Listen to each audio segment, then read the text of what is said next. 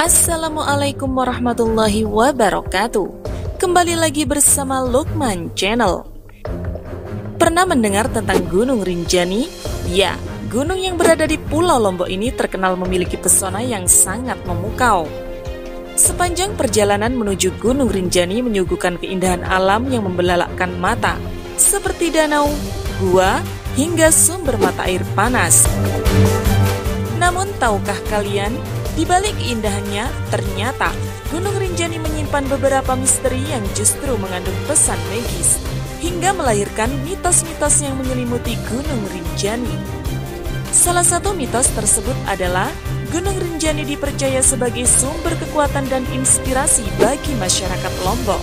Karena itulah, mereka selalu menjaga Gunung Rinjani agar tetap lestari. Ini juga berlaku bagi siapa pun yang mendaki gunung tersebut sebagai wujud rasa hormat dan menghargai alam serta kepercayaan masyarakat setempat.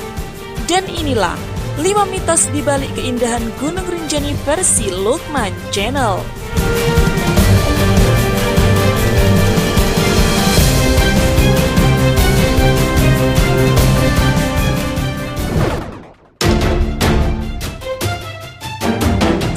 Sosok Dewi Anjani sang penguasa Gunung Rinjani. Gunung Rinjani ini ternyata memiliki sosok penguasa yang cantik, yaitu Dewi Anjani. Sosok ini dipercaya sebagai ratu jin penjaga Gunung Rinjani. Menurut masyarakat setempat, Dewi Anjani adalah seorang putri raja yang tak diizinkan ayahnya menikah dengan pria pilihannya. Karena itu, Dewi Anjani menghilang di mata air yang bernama Mandala. Setelah itu Dewi Anjani dikenal sebagai penguasa dunia goib Gunung Rinjani.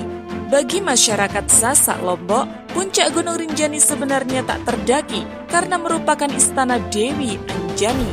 Oleh karena itu, tempat tersebut tak bisa disentuh oleh makhluk lain seperti manusia.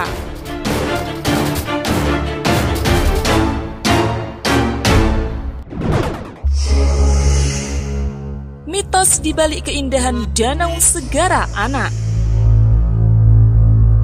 Tak hanya keindahan pemandangan di puncak, Gunung Rinjani punya Danau Segara Anak yang populer. Konon, danau ini menyimpan berbagai kekuatan dan misteri yang unik. Danau Segara Anak ini dipercaya bisa memberi satu peringatan agar kalian bisa memanfaatkan waktu dengan baik. Wah, perlu dicoba ya untuk ke sana. Masyarakat setempat percaya setelah meninggalkan Danau Segara Anak, kalian bisa memiliki semangat baru. Berbagai acara adat masyarakat setempat juga sering dilaksanakan di Danau Segara Anak. Konon di danau inilah kediaman tokoh legenda pewayangan Dewi Anjani, Ibunda Keraputi Hanoman, berkuasa meliputi seluruh Gunung Rinjani.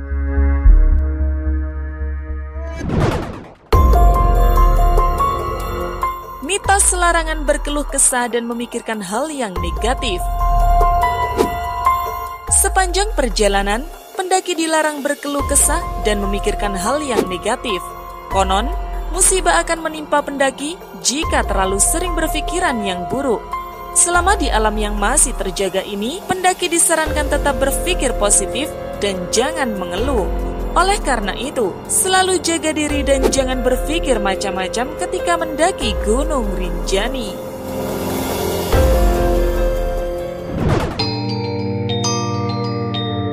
Gua Susu sebagai tempat penyempurnaan ilmu spiritual. Tak hanya danau dan sumber mata air, Gunung Rinjani juga mempunyai gua yang punya mitos unik.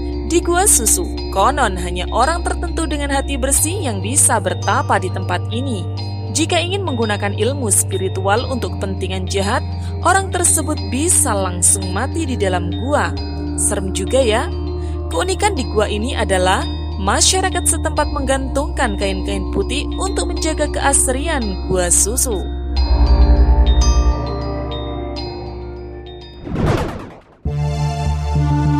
Mitos larangan menginjakkan kaki di daerah tertentu. Seperti kebanyakan mitos di gunung-gunung lain, Gunung Rinjani juga memiliki beberapa tempat yang terkenal mistis dan penuh misteri.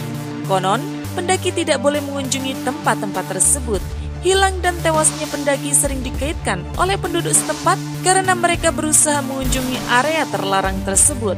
Oleh karena itu, sebelum mendaki, kami sarankan kalian wajib mempelajari dulu area terlarang dari masyarakat setempat. Nah itu tadi 5 mitos di balik indahan Gunung Rinjani versi Lukman Channel. Terima kasih sudah menyaksikan video ini. Jangan lupa like, comment, subscribe, dan tekan tombol loncengnya agar kalian bisa menjadi orang pertama yang mendapatkan notifikasi dari video kami.